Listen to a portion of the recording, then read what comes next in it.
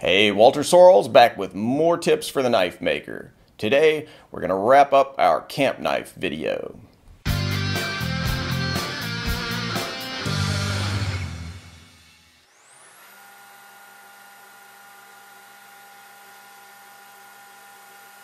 Now that we've got a hardened and tempered blade, I'll use the grinder to clean up the scale that's formed on the blade during heat treating. If I were doing a high-end custom knife, I'd do this by hand with sandpaper to achieve a really high finish.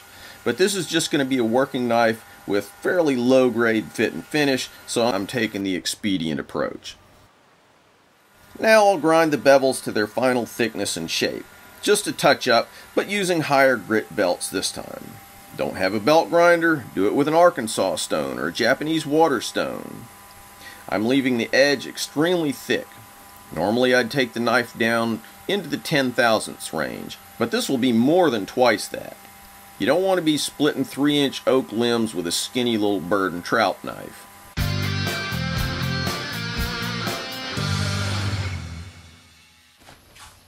Next, I'll be adding the handle scales. I use a kind of unusual fastening method here. I'm taking two opposing machine screws and attaching them in the center of the tang using a little quarter inch threaded insert. Not really my favorite approach, but something different. I'm using cap-headed Torx drive screws. From a distance they sort of look like Allen head screws, but they're not. Now there's not any particular functional advantage to Torx screws, they just look a little cooler than say Phillips heads. You won't find them down at Home Depot though. I bought these from a specialty fastener distributor in bulk quantities. Okay, first I'll need to give the head of the screw a recessed seat in the handle scale so that it has some material to hang on to but doesn't stick out too far into your hand. I'll use a step drill to accomplish that. Check out my step drill video if you're interested in how that's made.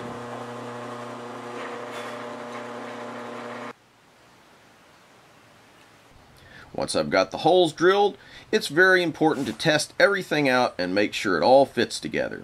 Nothing worse than realizing your clearances aren't quite right after you've started slathering epoxy everywhere.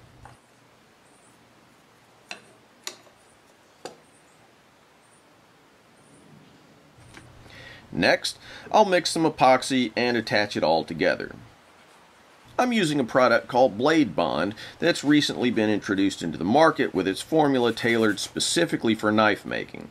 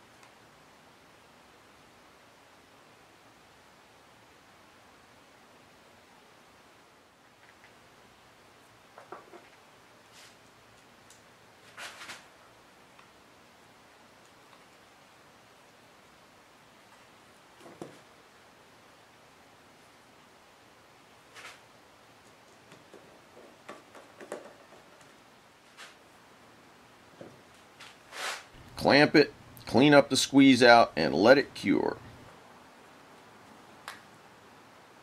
Note that once the epoxy starts to set, I'll back out the screws and set them aside.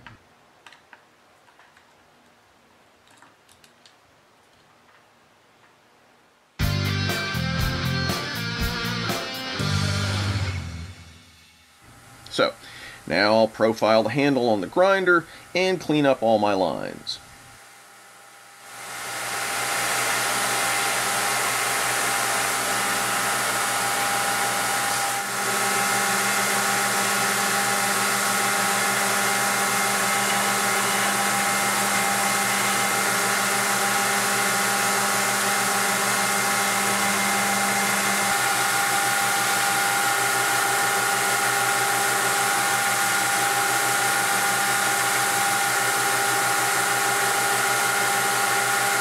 Now a little hand sanding, breaking the edges to make it more comfortable.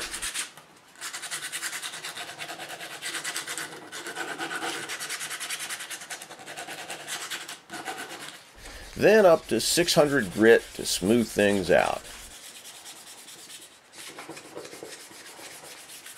Once that's done, I'll Loctite the screws into place. If I had left the screws in place after epoxying the handle, I'd end up grinding the heads off, and you don't want that.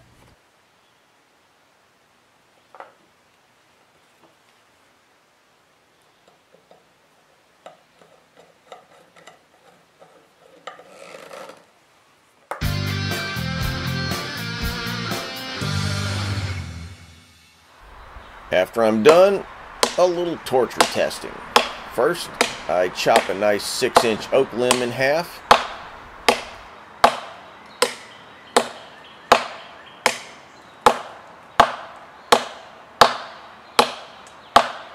Chopping.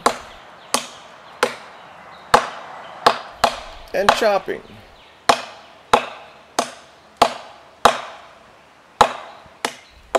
And chopping. If you're really planning to do a lot of chopping, you should probably have a lanyard, but I don't. Still chopping.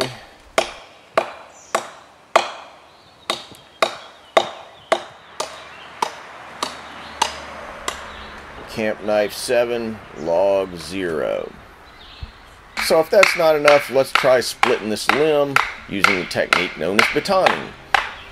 Anyone who knows anything about batoning knows you shouldn't use a knife this small on a big ass piece of hardwood like this. First baton, not up to the task. Let's move on to a 2x4.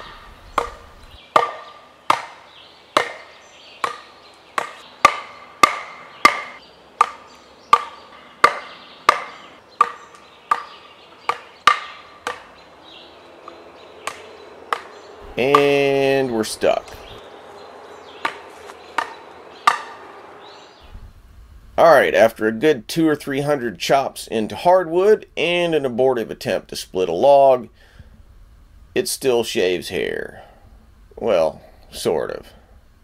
Anyway, this is what a hard use knife is supposed to do. Abuse it, throw it in the truck, forget it for a while, and it still cuts.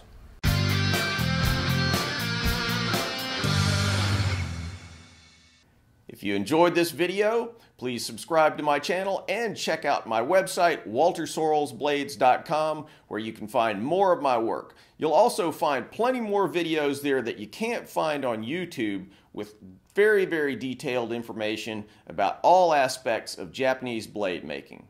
Also, like me on Facebook at Walter Sorrells Blades.